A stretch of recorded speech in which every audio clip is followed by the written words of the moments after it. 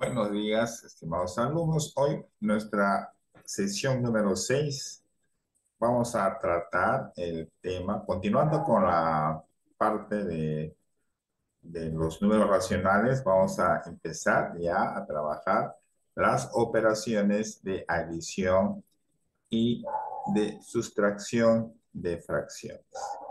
Para ello vamos primero con lo más fácil. Vamos a recordar un poco qué son las fracciones homogéneas.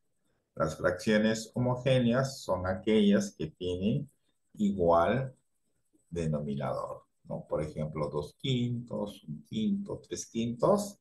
Estas tres fracciones son fracciones homogéneas.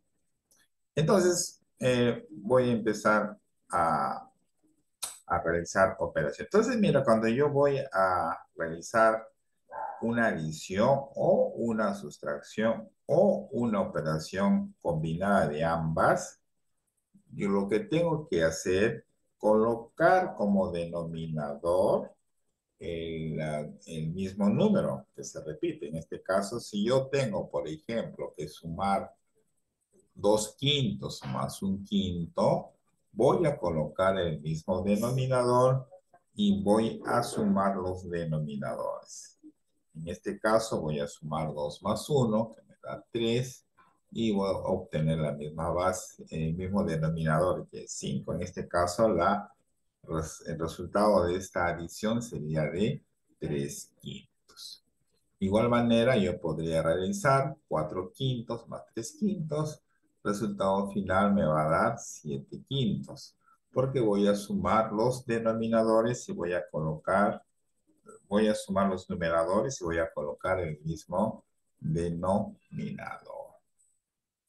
¿No? Entonces, eh, trabajar fracciones homogéneas y donde yo voy a realizar las operaciones de adición, sustracción o ambas, ¿no? En una operación combinada de las dos, es fácil, solamente voy a trabajar los numeradores. Ahora veamos o recordemos que son fracciones heterogéneas. Las fracciones heterogéneas son aquellas que no, que poseen, o sea, que poseen diferentes denominadores. Como este caso, yo tengo dos tercios, siete quintos, siete sextos, son, son eh, fracciones heterogéneas porque tienen diferente denominador. Entonces, aquí ya no vamos nosotros a seguir eh, haciendo las, operaciones como si fuesen homogéneas. Ya hay diferentes procedimientos, ¿no? Entonces, el procedimiento más común, sobre todo cuando yo tengo más de dos fracciones que sumar, lo que tengo que realizar es hallar el mínimo común múltiplo de los denominadores. Una vez que yo realice o halle el mínimo como múltiplo, voy a hacer, eh, voy a hacer con cada una de las fracciones lo siguiente. Primero, el mínimo como múltiplo voy a dividirlo entre el denominador y el resultado lo multiplico por el respectivo numerador. En este caso, si yo tengo dos tercios, que sumarlo con siete quintos y sumarlo con siete sextos, primer paso, yo ya hallé el mínimo común múltiplo, que en este caso es 30. Luego voy a proceder a hacer esto, ¿no? Divido entre 3, sería 10, por 2 sería 20. Vuelvo a repetir lo mismo, 30 entre 5, 6, por 7, 42. 30 entre 6, 5, por 7, 35. ¿no? Y luego voy a sumar los tres valores, ¿no? En este caso sería 60 eh, sería sumar 20 más 42 sería 62 más 35 sería 7 97 30 sería el resultado de esta operación ¿no? entonces eh, la dificultad en estos ejercicios está cuando trabajemos más de dos fracciones y estas son heterogéneas. Entonces vamos enseguida a ver algunos ejercicios donde vamos a ver eh, todos estos pasos. Les eh, recuerdo que estamos trabajando ahorita la parte mecánica, la parte teórica. Yo sé que muchos de ustedes trabajarán esto con calculadoras, pero algunas veces es necesario que ustedes recuerden trabajar estos manualmente, o sea, utilizando todos estos procesos aritméticos. Muy, sobre todo ustedes que ahora trabajan en forma presencial y tienen que realizar sus respectivas operaciones sin usar calculadoras. Por eso es necesario que ustedes retomen o comiencen como antiguamente a, realizar sus operaciones de manera manual. Entonces pasemos a esto. Si nos piden, por ejemplo, hacer esta operación combinada, un sexto más dos séptimos menos un quinto, menos un medio más un quinto. Entonces, como está con paréntesis, vamos a, vamos a hacerlos por separado. En el primer caso, vamos a hallar el mínimo como un múltiplo de 6, 7 y 5. En este caso, el mínimo como múltiplo es de 210. ¿sí? Y luego voy a hallar también el mínimo común múltiplo de 2 y 5, que en este caso es 10. Entonces procedo, eh, como hemos ya planteado la forma de trabajar cuando son fracciones heterogéneas, porque estas tres son heterogéneas. Entonces, el mínimo común múltiplo es 210. Dividimos entre 6 y luego multiplicamos por 1, me va a dar 35. Entonces, de igual manera, 210 entre 7 por 2 me va a dar 60. 210 entre 5 multiplicado por 1 me va a dar 42. Y siempre hay que conservar los signos que tenemos a la vista. En el segundo paréntesis vamos a hacer lo mismo. Acá, mire, acá podemos hacer cuando tengo dos, dos fracciones, ¿no? sin necesidad de usar el mínimo común múltiplo, si sobre todo vemos que estos dos eh, denominadores son números primos entre sí, entonces podemos hacer lo siguiente, multiplicamos los dos denominadores, ese va a ser mi denominador común, y luego trabajo productos cruzados, 5 por 1, 5, y 2 por 1, 2. Luego hacemos, eh, sumamos las operaciones en el numerador, me da 53, sigo conservando el mismo denominador. Eh, acá sumo 5,27, sería 7 décimos. Eh, luego yo tengo acá como denominador 210 y luego voy a trabajar el valor, ¿no? Eh, voy a dividir, por ejemplo, 210 entre el mínimo común múltiplo sería 210. 210 entre 210 es 1 por 53 sería 53.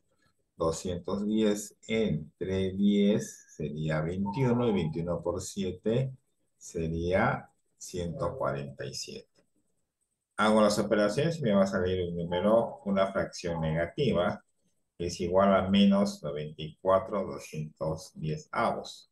Y de acá yo puedo reducir. Obviamente acá vemos que podemos reducir esta, uh, convertirla a una fracción irreductible, ¿no? Porque acá vemos que se puede reducir, porque podemos sacar la mitad, ¿no? y nos va a resultar finalmente menos 47,105 avos. Ahora veamos esta operación donde observamos que hay números mixtos. Cuando tenemos números mixtos, es conveniente convertir estos números mixtos a fracciones impropias. Como, por ejemplo, yo tengo tres enteros, un quinto, lo que voy a hacer es multiplicar 3 por 5 y le sumo 1. Entonces este número mixto se va a convertir en 16 quintos.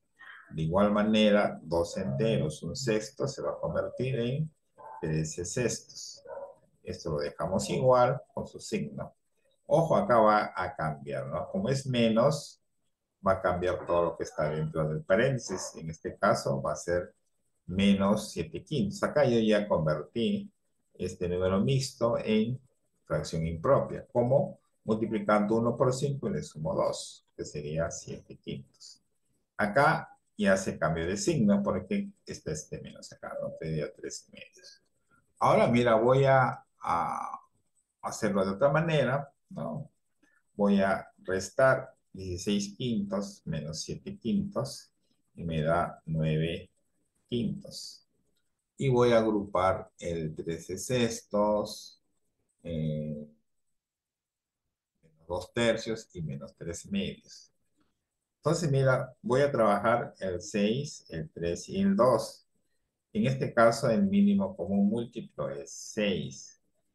No estoy haciendo directamente el mínimo común múltiplo porque hay ciertas propiedades del mínimo común múltiplo. Cuando tengo, tenemos varios números, ¿no? Y, y dos de ellos, en este caso, si tenemos tres y dos de ellos son eh, divisores de, uno de ellos, entonces el mínimo común múltiplo va a ser el número mayor, en este caso 6. ¿Por qué? Porque 3 y 2 son divisores de 6. Entonces, directamente yo puedo concluir que el mínimo común múltiplo de 6, 3 y 2 es 6. Entonces, procedo a hacer mi respectiva ah, cálculo, ¿no? Digo, 6 entre 6, 1 por 13 es 13. 6 entre 3, 2 por menos 2, menos 4. 6 entre 2, 3 por menos 3, menos 9. Entonces, acá me sale 13 menos 13. Acá esto me va a dar 0. ¿Por qué? Porque 13 menos 3 es 0. 0 sobre 6 es 0. Entonces me va a quedar 9 quintos. Ya, entonces ahora veamos otro ejercicio. Otro ejercicio. Eh, si yo tengo 7 siete, enteros, 3 quintos, más 5 séptimos, menos 1 quintos, ¿no? Entonces, de igual manera vamos a primero a convertir a fracción impropia como ya hemos mencionado anteriormente, multiplicando en la parte entera por el denominador y luego le sumo el numerador, ¿no? 7 por 5, 35, más 3, 38 quintos.